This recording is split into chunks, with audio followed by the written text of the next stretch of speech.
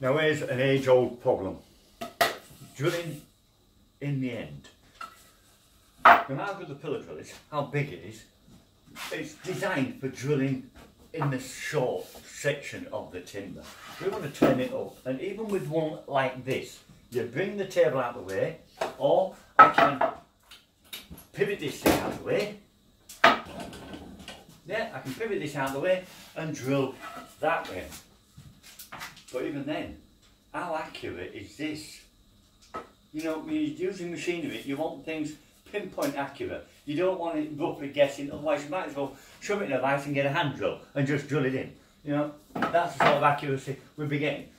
So this, it doesn't work for me. I want some way of drilling that way that is going to be as accurate as drilling that way. This isn't going to do it. So, come with me. Here, I've got what used to be an old saw. That's it. It was a beautiful machine. It did all sorts of wonderful things. Look at this. This is what it was, what it, what it did. These are the sort of things you get out of it. Absolutely amazing. Now, this bit is what interests me. On the back of this machine, it has a port for a chuck. Let me bring it over so you can see closer. There. A port for a chuck. Now a saw blade runs the wrong way for a chuck. So you can't just take the blade off and attach a chuck to it and thus you'll get a drill. You know what? You'll get a drill that's undoing all the time. Um, that wants to drill outwards instead of drill in. The other end is where you get the facility for a chuck if you've got one in there. This machine, luckily enough, has one. Now the machine's beautiful, but it's, it's redundant. It's been sitting in the storeroom for a good 10 years because I didn't want to get rid of it it's a good machine. Um, but it's got to be put to some use. What I'm going to do is utilise this, or the motor of it, and make myself a horizontal drill press. Now over here, which is at far corner of my bench, I've got all the cross cutting everything going down here with the chop saw. This is the far end of it here. What I want to do is in this very corner, where I've got a box, I want to mount that there. But it's going to be in the way, however I mount it, it's going to be an obstacle if I want to put big sheets there. So I want to cut the surface and make it into one that flips out of sight. So I can flip it away when I'm not using it and flip it back into place when I'm using it. that then will put me on a flat platform. Getting it that way is at the moment still a tricky situation. How I get it to rise up and fall down. But looking at the machine, I've got a good three inches. So that means I'm centering six inch timbers. I don't think I'm going to ever go above that. That way, no problem. I can move it side to side. But that way, six inch timber to centre is the most. Um, if I've got to go beyond centre, I, I just have to turn it over. I'm pretty sure it's going to cover all my work, if not 99.9% .9 of it. So I don't think I'm going to concern myself about levitating it at this stage. As for the timbers this way, the idea is once I've got it mounted, I will put a spindle in the chuck to give me the exact accuracy of it. No point doing it until it's all mounted and solid because I can be out. And trying to mount that to be in line with this is a reverse way of doing things.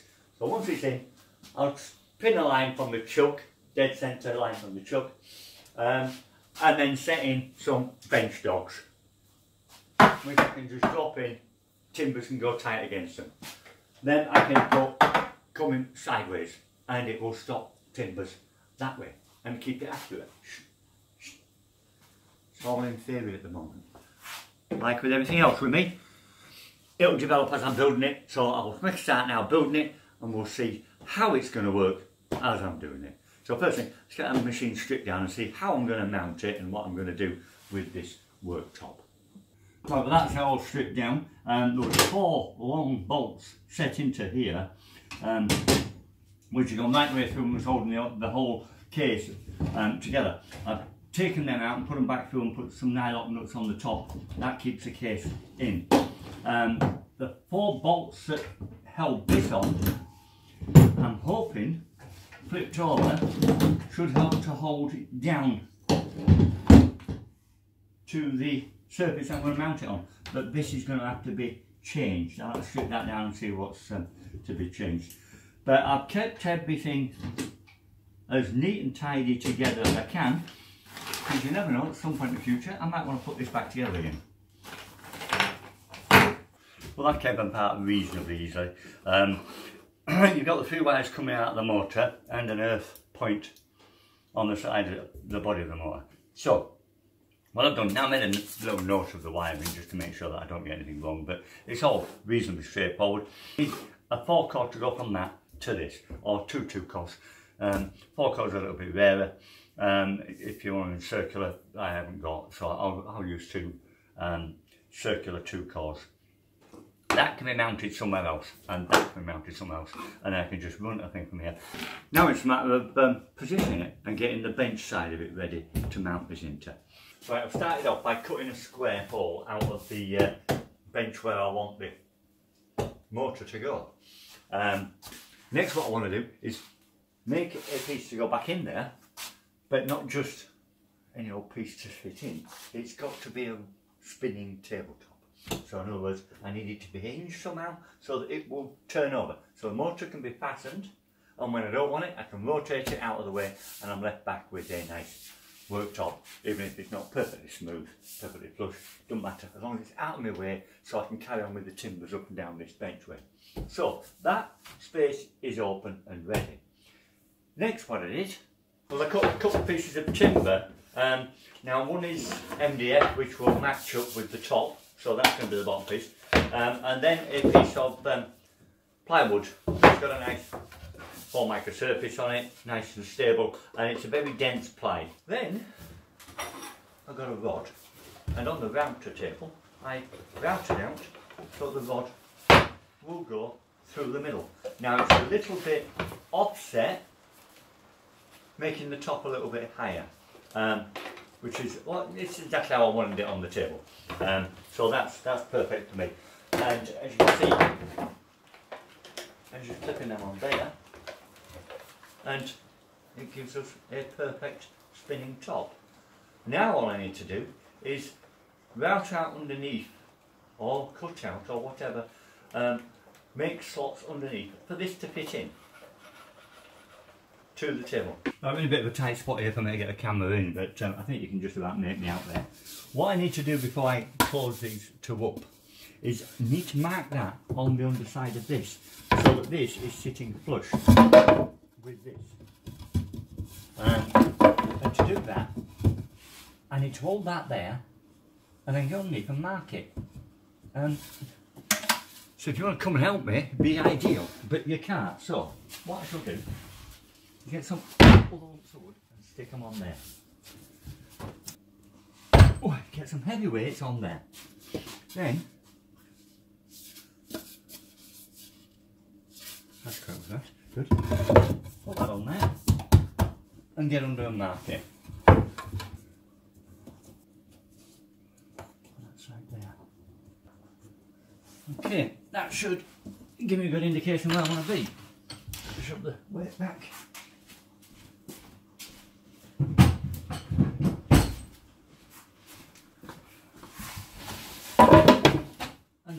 Perfect. Okay, now I need to remove that material. How far do I need to remove it? That much. So I'm going to start off by just getting a drill that size and drill in that way. If I can get the right angle drill.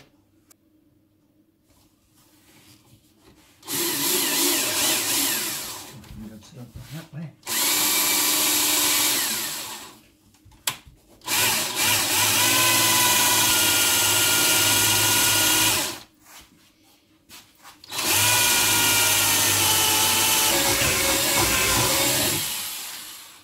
think you can probably guess why I've done that so deep.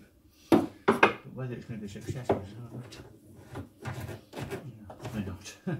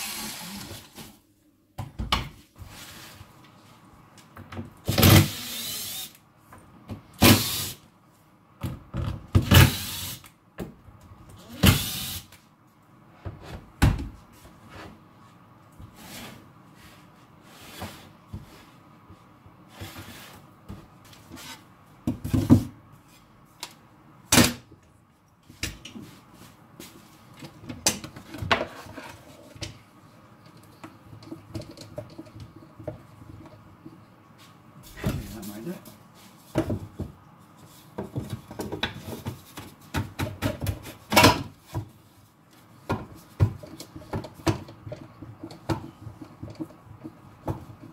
Amazing the tricks you have to come up with when you're working on your own.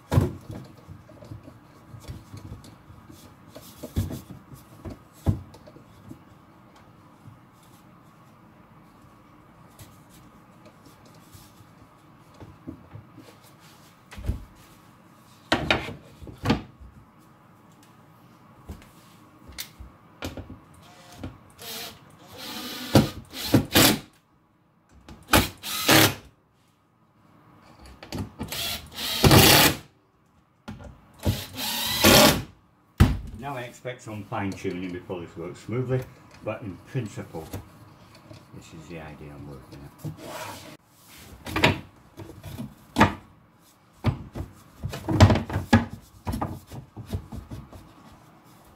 Right, so that'll be that one there has come out, which is expected because it's loose. It is the way it's made. It is a plate on it up. But when it does, and same this side, that should get me reasonably level.